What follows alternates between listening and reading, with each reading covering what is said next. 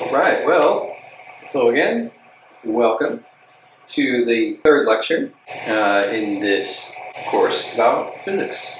So last time we talked about uh, Newton's first law of motion, um, having to do with inertia, how objects want to either, if they're at rest, they want to remain at rest. If they're in a uniform state of motion, uh, meaning moving in a straight line at constant speed, then they want to keep doing that as well. Right? And to stop them from doing that or to change their motion, a force needs to act on them.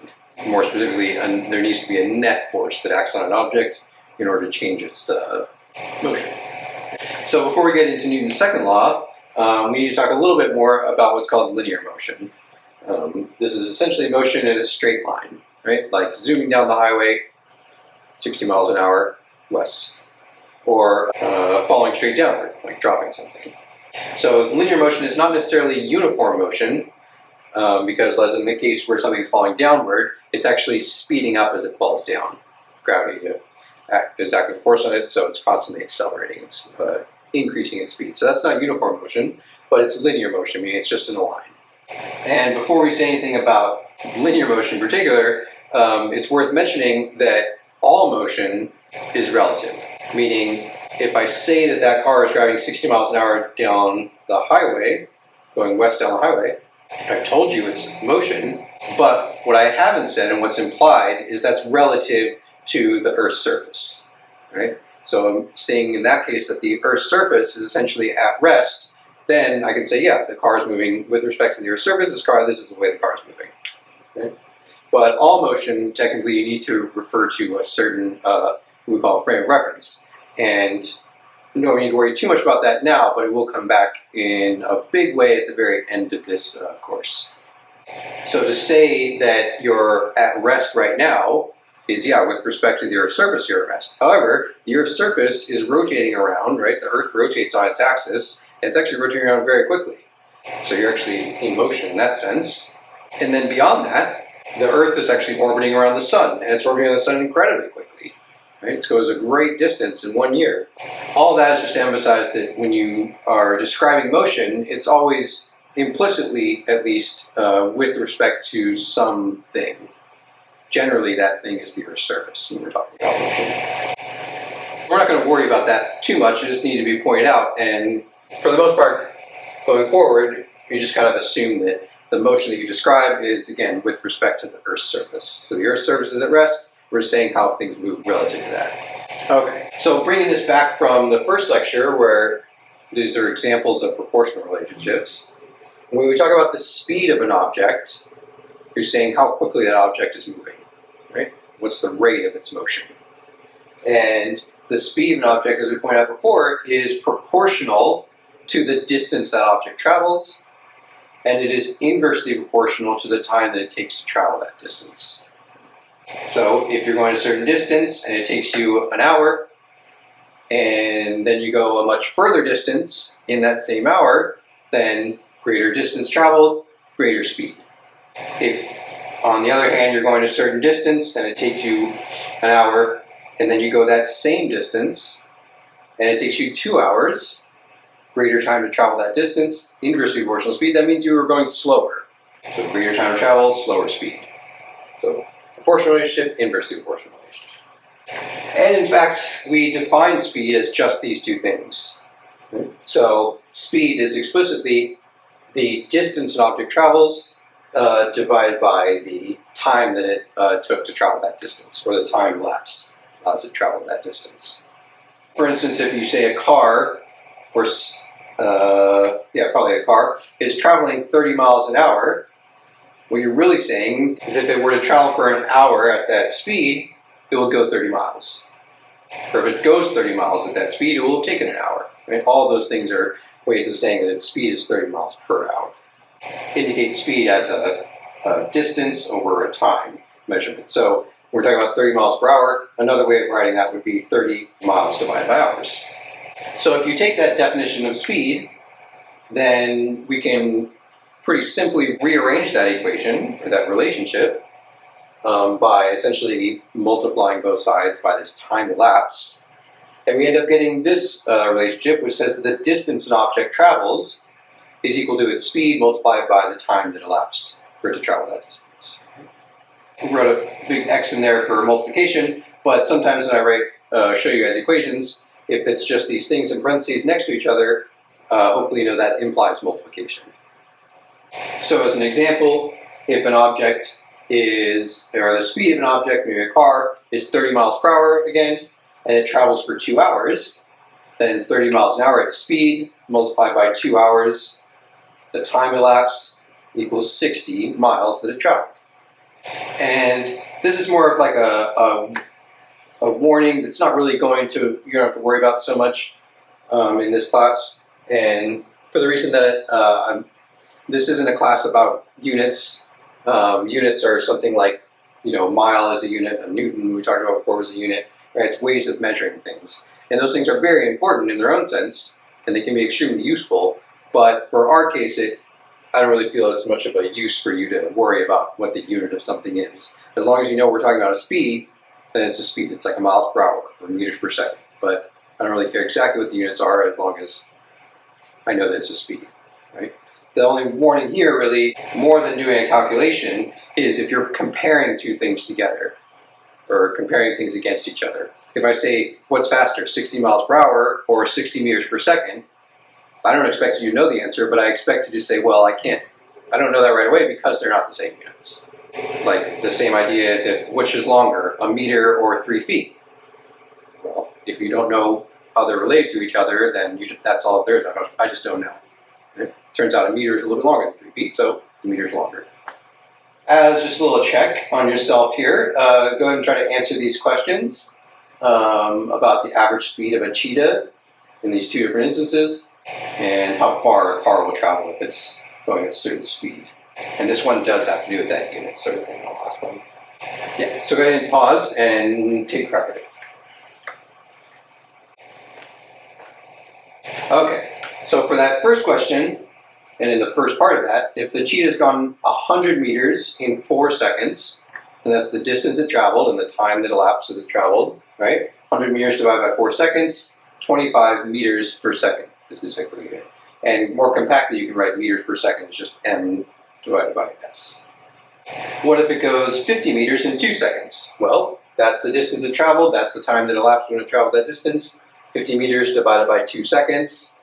What do you know? It's still 25 meters per second, right? So even though you have different measurements, it could still be the same uh, speed that you're actually measuring. And then in this case, the second question, calculating how far something went, the only real questionable part of this is that, well, um, we're given a, a speed, or I gave you a speed in kilometers per hour, but told you amount of time in minutes. So the first step is really just to say, well, I can't use kilometers per hour and minutes together. I need kilometers per hour and hours together. So 60 minutes is one hour, great. Multiply that speed by that time. The object or the car went uh, 100 kilometers. So something kind of glossed over here, um, good time to talk about now, is whether or not when we're talking about things like speed or other stuff later on, whether we're meaning an average speed versus an instantaneous speed. So in all the cases in the past couple slides where it was like, okay, you went this far and it took this amount of time, so just divide those things, that tells you your speed. What that is actually telling you is the average speed. So on average, if you say, you know, if it took you an hour to go 25 miles, then on average your speed was that distance, 25 miles, divided by one hour, 25 miles per hour. However, that's different than your instantaneous speed. Instantaneous is just another word for what's your speed at that moment, at that instant.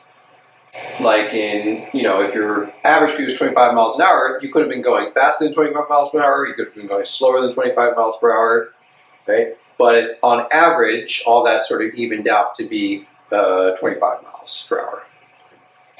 So, you know, if you're on a trip, or if you're going this 25 miles, and it takes you an hour, um, your instantaneous speed might be all kinds of things. You know, it's, it's going to be zero at times when you're at a stop sign or a stoplight. Um, maybe it's 60, 60 miles an hour uh, when you're on the highway for a few minutes. Yeah, so instant versus like just averaging over the entire trip. All right, so another question then. Uh, if your car, say, has an average speed of 60 miles per hour, you want to chip your car uh, you want an average speed of, you know your average speed is 60 miles per hour. So is it possible for the instantaneous speed of your car to be less than 60 miles per hour? And then beyond that, is it possible for the instantaneous speed to always be less than 60 miles per hour? So go ahead and pause the video and think about it, write out the answer. Uh, it doesn't have to be long, just a couple words, yes, no.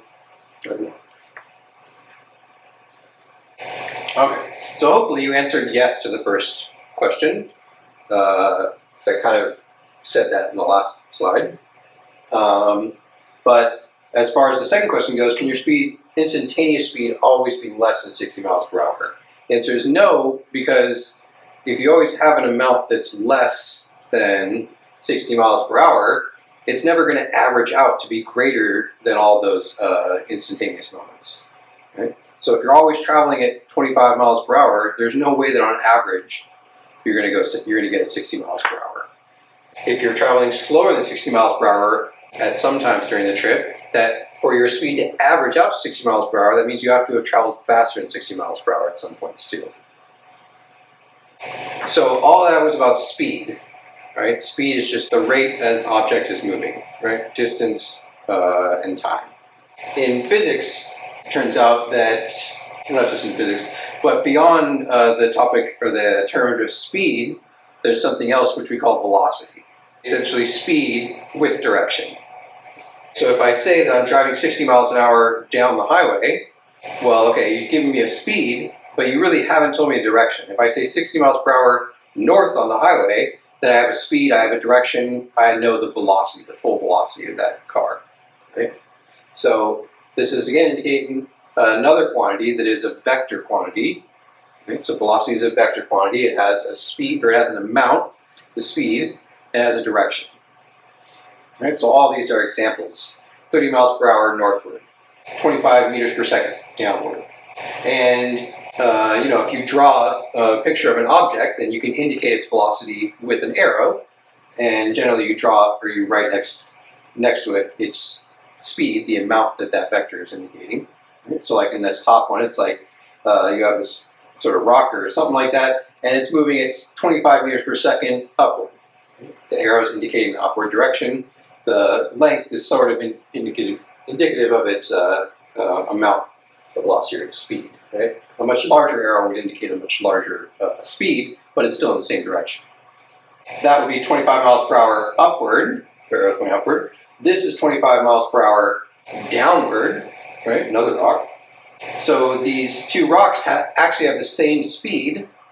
They're both moving at 25 meters per second, but they have different velocities. And that is because the uh, directions are different that they're moving. And even if I just took this top one and you just tilted that angle just a little bit, it's not quite upward, it's off of being upward just a tiny bit, it's a different velocity, right? It's not exactly upward, so it's not the same velocity anymore. For the velocity of an object to remain unchanged, its speed needs to be constant and the direction it's moving needs to be constant. All right, so more questions for you. If uh, the speedometer of your car, I guess you're not in America somewhere because it's in kilometers per hour, but if the speedometer of your car is, reads 100 kilometers per hour, and you pass another car that's moving west at 100 kilometers per hour, do you have the same speed and do you have the same velocity? And then a separate question, um, if during a certain period of time the speedometer of your car is, uh, shows a constant 60 kilometers per hour, does that indicate a constant speed? And does that also indicate a constant velocity? So again, uh, pause and write down your answers for each of these. Yeah, for the first one, both of the cars are moving at 100 kilometers per hour. Those are the speeds of the cars, right? So the speeds are the same. The velocities, however, are different because they're moving in opposite directions, right? So 100 kilometers per hour uh, east and 100 kilometers per hour west, different directions, different velocities. And if your car was showing a constant 60 kilometers per hour on the speedometer, then indeed that's a constant speed. 60 kilometers per hour, is just staying constant. Doesn't really care about direction. Is it a constant velocity? Well, that's a little bit trickier. It could be. This is a, somewhat of a trick question because the answer is I don't know. It could be, but it might also it could not be. Right? So it would be a constant velocity if that car was going 60 miles per hour and just continuing straight along in the same direction. However, if that car ever has to turn or go in a bit of a different direction, then its velocity is no longer constant, right? Because as long as it's not moving in the exact same direction, if it goes off even a little bit, its velocity has changed. Right? Different direction, different velocity. So I guess maybe the better answer is could be a constant velocity, but probably not. Usually you're not going exactly straight all the time. Okay, so now that we know a little bit about velocity, how does velocity change, or what happens when velocity changes? Um, well, since velocity is made up of speed and direction, if you want to change an object's velocity, you can change its speed, or you can change its direction, or you can change both. Right? But you need to at least change one of those things. And if either of those things changes, or both of them change, then the velocity of that object has changed. So on the left side here, we have an object that's falling, and up at this height, maybe it's uh, moving at 10 meters per second, and it's moving downward. A little bit later on, it's still moving downward, it's moving in the same direction, but it's now moving at 25 meters per second. So its speed has changed. Its speed has actually increased here. So that is an example of velocity changing. And not because the direction changed, but because the actual speed of the object changed. So the other main example of changing an object velocity is where its direction changes, but its speed does not. So if on the right side here we look at uh, the same sort of object, it's moving at 25 meters per second in that upward, up to the right sort of path. And then later on, we see it's moving 25 meters per second in that down to the right uh, path. Its speed has remained the same. It's still 25 meters per second. However, its direction has changed. It's gone from going in this direction now to going in this direction. So it's turned in some way. This is another way you can change velocity. So this gets into actually uh, curved motion or rotational motion, and not technically linear motion because it's not a straight line anymore. So we're not going to touch much more about that here, but that will come back later on. We talk about rotations and curved paths later on. Different lectures. All right. What is it called when you change an object's velocity? Well, that is an acceleration. Right? Acceleration is exactly changing an object's velocity. Technically, the definition of acceleration is the change in that object's velocity divided by the time that it took to change that velocity. Okay? So anytime an object's velocity changes, it's accelerating. So not just a changing speed, but also could be changing direction. So examples of things accelerating are when an object speeds up, right? Its speed increases, its velocity has changed, it's accelerated. When an object slows down, its speed is decreased, right? its velocity has decreased, it's accelerated. Um, when an object turns, changes direction, right? Its speed has stayed the same, but its direction has changed, so it's also accelerated. And a good example of a, an accelerating object is just an object in free fall, when we just release an object and it gets pulled down to the Earth's surface. Since uh, free fall or dropping an object is a good example of acceleration, we're going to look into that, yeah, for the next few slides at least.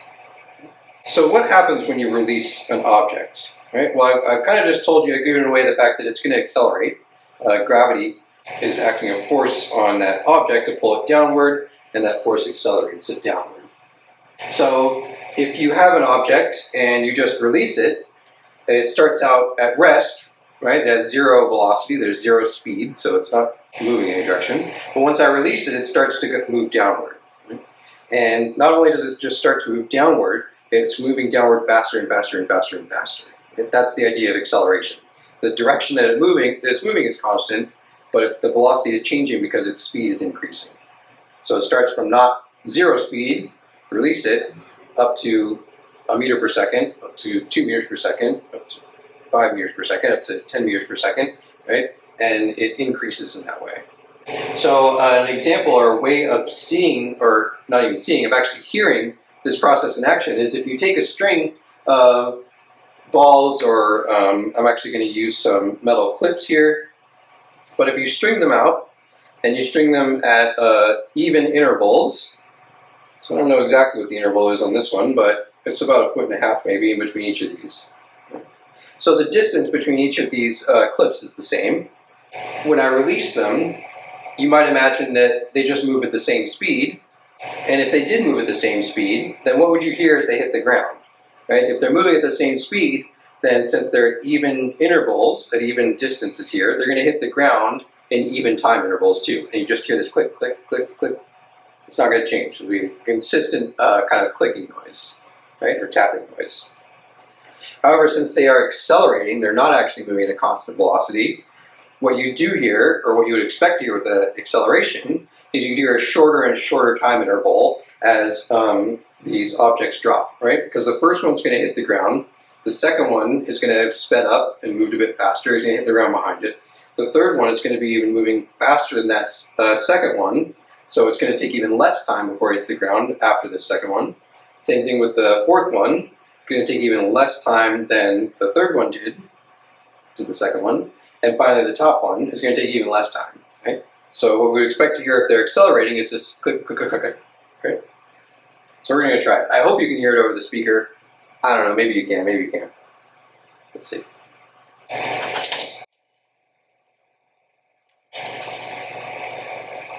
Whoa. And now it's a tangled mess. Okay, well, if you, hopefully the, the speaker picked that up, but if not, you're just gonna have to take my word for it. The first click is like the bottom one in the ground, and the second one in the ground is like click, click, and then, and then the frequency or the time interval in between those clicks just gets smaller and smaller and smaller. And that's because the ones at the top have had a longer time to fall. They've been accelerated more, so they're moving faster and faster and faster, and they uh, cover that same distance in less time. So let's look at that in more detail. Uh, this isn't a string of balls. This is the same sort of object now. We're imagining I just released a single object. So how fast do those objects fall?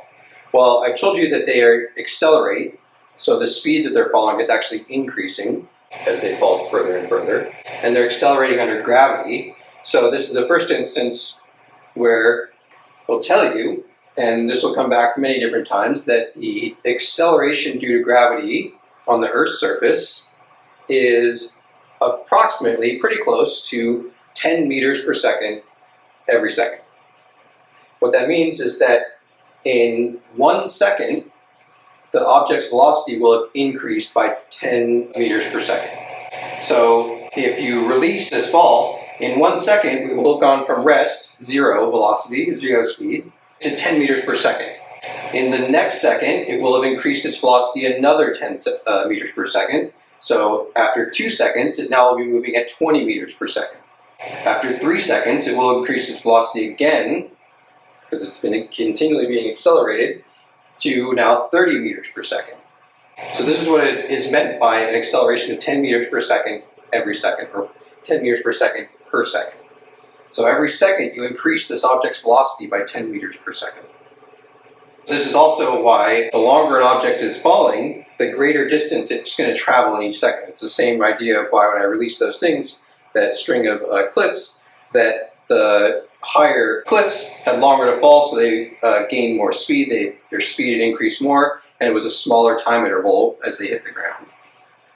So another interesting thing is the fact that gravity is accelerating objects downward at 10 meters per second per second means that this same sort of motion occurs whether it's slowing an object down, whether it's decelerating an object, and it will de decelerate an object if you say toss it upward, so if you give a, an object some, uh, like a, you know, just toss an object up, you will give it some speed, so it'll be moving, when it leaves your hand, it's moving at some velocity, right? But again, gravity is still trying to accelerate downward.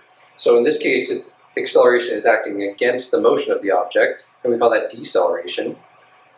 So you toss the object up, gravity de uh, decelerates it, so 10 meters per second every second.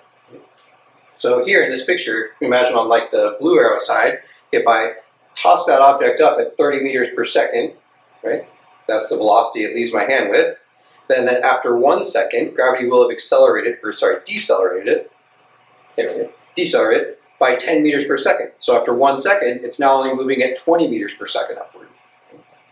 One more second later, it will have decelerated again by 10 meters per second. So now it's only moving at 10 meters per second. And then finally, one second more after that, it will have decelerated again by 10 meters per second, So now it's not moving at all. It's at zero velocity right up here, and that's where it's reached its peak, and it's going to start to then move downward now, right? Because again, that acceleration due to gravity never stops, right? It's decelerating it, decelerating it, decelerating it, and now it's accelerating it once it starts to move back in the other direction. So this motion actually um, is sort of a mirror image. It's symmetric. When you toss the object up, it decelerates, and then it accelerates in the exact same way on the up, well, exact same way, but uh, sort of in reverse, I guess, on the way down. So you get the same sort of uh, picture when you toss the object up as when it falls back down. So that's looking at, say, you know, how fast the objects are moving due to that acceleration of gravity. What about how far they fall? If you want to know how far an object has traveled, well, if it had a constant velocity, or had a constant speed even, then it, it's pretty easy to tell how far it went, right? You just multiply speed by the time that it was traveling that speed and you get the distance.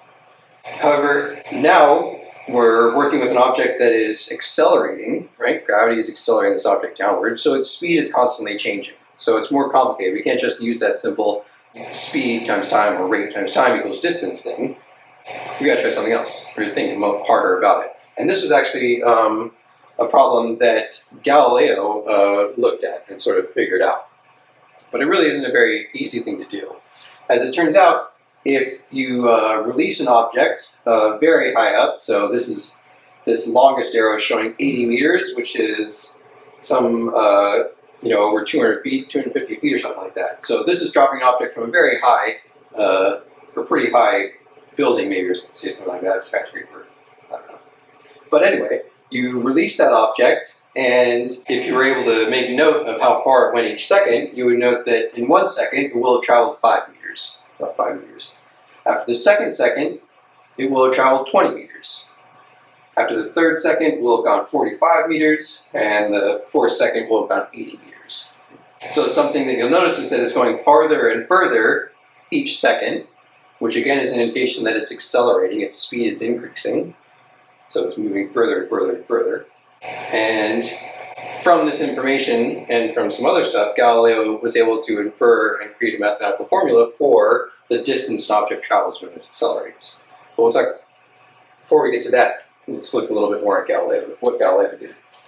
So as I mentioned in a past lecture, Galileo actually used these inclined planes and sort of rolled balls down inclined planes. And as it turns out, um, if you, well, if you think about the slide before, it only took four seconds for an object to go over 250 feet. Right? So if I just drop an object from, say, six feet, it's going to hit the ground in probably in, well, less than a second. So the issue for Galileo was essentially that that time interval is too short to really get good, accurate uh, data. Right? So he wanted to observe the object falling, but he didn't really have a very good way of keeping time, and especially very short times like that. However, he realized that if he rolled balls along planes, along these uh, inclined planes, these different angles, that the motion was essentially analogous. It was the same sort of motion, except for the acceleration was less overall. So it was still a constant acceleration, it's just it was less if it was moving on this plane like this. And he realized that at a very shallow angle, it would be much easier to measure the time that it took to go certain distances. And you could actually relate that to free fall because free fall is essentially rolling down an inclined plane that's vertical. So you don't have to worry too much about that, but essentially you can use that information from an inclined plane to uh, extrapolate to uh, just falling down, straight downward. And just for some historical interest, this is actually an image of one of those, uh, apparently it's one of the inclined planes that Galileo used. I believe it's in a plane, or in a plane, in a museum somewhere. And yeah, you can see it's just a sloped surface, and he had these, uh, I think those are little bells or something, at different uh, positions along the plane, and he used a number of things to actually try to measure time. Because if you think about it, we measure time pretty easily. We have uh, clocks um, that use, well, depending what it is, it might be gears uh, and springs, or uh, might even be atoms jiggling around. But back in Galileo's time, wasn't really very accurate clock or ways to measure time. So I think he actually invented his own water clock, which used the dripping of water to tell to keep time intervals. Um, but he also just used his own uh, pulse to count his uh, heartbeats essentially, and that was another way of keeping time. So after uh, some pretty painstaking uh, work that Galileo did with his inclined planes, you know, listening to his heartbeat, their timing, he was doing observations about the distance that objects were traveling under that acceleration. Right? So whether or not it was under uh, the full acceleration of gravity, just dropping straight down, or like I said, whether you just do it on an inclined plane so that the acceleration is still constant, but it's a little bit, uh, it's less, so it's easier to measure those distances. So what he found was essentially that the distance that those objects were traveling was proportional to the acceleration. So that meaning that if you had a very shallow inclined plane, it was lower, much lower acceleration that it was under, or being the acceleration was much lower, where also the distance it traveled was much uh, less, right? So less acceleration, shorter distance that it travels in each of those time intervals. Or if you go to a much steeper inclined plane, right, much greater acceleration, a much longer distance that those uh, uh, the balls were rolling in each of those time intervals. On top of that, he also found that the distance that those balls were moving along the plane was proportional, not just to the amount of time that they had traveled, but actually to two factors of the time that they traveled. Meaning that if the amount of time that elapsed doubled, then you'd get a factor of two for each of these times, the distance they traveled would quadruple. Or if the amount of time tripled, the distance they would travel would be three times three would be times the distance it would travel, right? So this is what is meant by it's proportional to the time squared, or two factors of the amount of time that it's traveling. He figured out both of these things, and through, I think, just some other uh, analysis of his uh, data, you could figure out the proportionality constant to actually create an equation that told you how far something's going to travel given the acceleration that it was under, that it was experiencing, and the time that it uh, traveled there you go. In the end, he found out that the distance that an object that's moving under a constant acceleration is going to travel is actually equal to right, the acceleration that it's uh, experiencing, uh, two factors of the time that it travels for, right, so the time squared, and there's this factor of one half, turns out. Uh, that's written out one way, very kind of elongated, with all those uh, things explicitly sort of stated there. But much more compactly, you might see this equation written as the d is equal to 1 half at squared. Meaning the distance object travels is equal to 1 half times the acceleration that object is experiencing multiplied by the square of the time that it travels. You know, just compare this to, say, that uh, example I gave you earlier, and it wasn't just a random example, this is actually how an object uh, falls. If you release an object, then it's going to go 5, you could, you could well, if you're clever uh, and set something up, you could measure how far it went in each second. First second it would go 5, the second second it would go 20, third second it would have gone 45 altogether, the fourth second would have gone 80 altogether. Right? And Galileo's equation, or this relation, uh, will tell us, will give us this output. Right? You know, this is a sort of a test, you could imagine, say, of Galileo's theory here, which is that if he's correct, then that equation should tell me that an object's going to uh, that's accelerated at 10 meters per second per second, right? Accelerating under Earth's gravitational pull. And if you let it uh, fall, you let it travel in that under that acceleration for three seconds, we should get 45 meters. That's going to travel 45 meters, right? So put those numbers into our equation. One half times that 10 meters per second per second times three seconds, and then don't forget another factor of three seconds, right? two factors at that time. Multiply all that out, indeed this equation does tell us the object will travel 45 meters. And if you put four seconds into that, you get 80 meters. If you put one second in that, it will tell you five meters. Right? So after, this is, you know, some painstaking work, I'm sure, but Galileo, through that work, through that experimentation, was able to come up with this theory of how an object moves when it's being accelerated at a constant rate. So this is maybe the first big example of uh, scientific experimentation and the scientific process being the not necessarily exactly how it worked out, but an example of giving you an idea of it in play. Okay, so just in case you don't believe me on any of that stuff, fair enough. Um, in class, I might actually drop a ball for everyone, but we're not in class anymore. So instead, I'm going to use what I got, and I'm going to show you a video of somebody dropping a ball. And um, it's even nicer maybe than what I would have done because if you take this ball, or whatever object you want really, and release it, you can watch it and you can just watch it drop, right? Cool. Not quite as uh, interesting or maybe hard to observe the fact that it's uh, accelerating, it's increasing its speed all the time. However, if you drop a ball and you have a strobe light going, then a strobe light is just a light that's blinking on and off uh, at a constant in constant time intervals.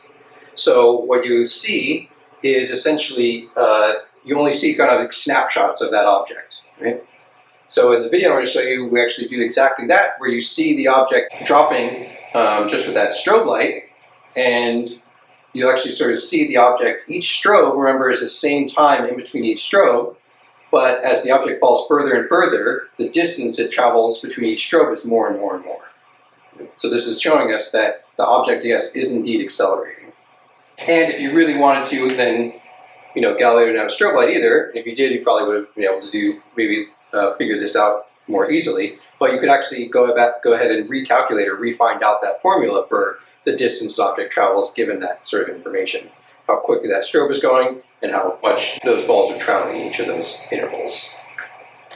Uh, so here he's going to drop it. They, even they even have a nice setup of this sort of evenly spaced uh, distances drawn on this board. So let's just go ahead and see.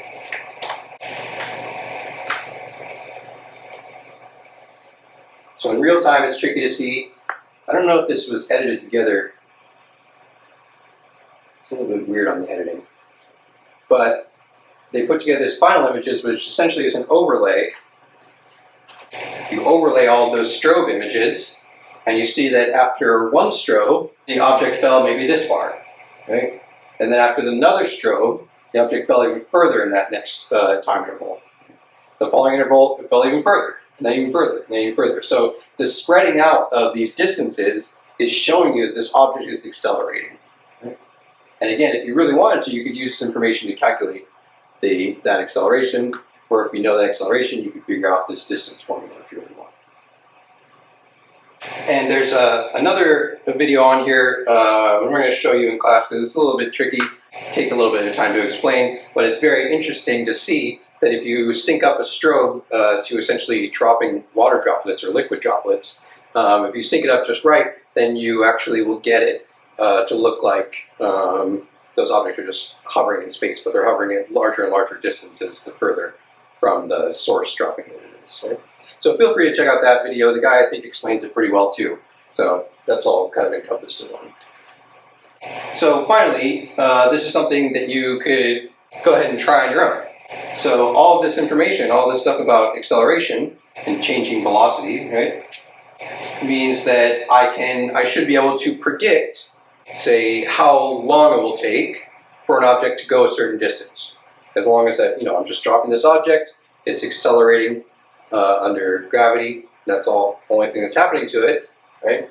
Then this equation, if I rearrange it, will be able to tell me, uh, I could figure out how long it will take to go a certain distance, right? Essentially solving this equation for a single factor of time, will involve multiplying by 2, dividing by acceleration, and square rooting.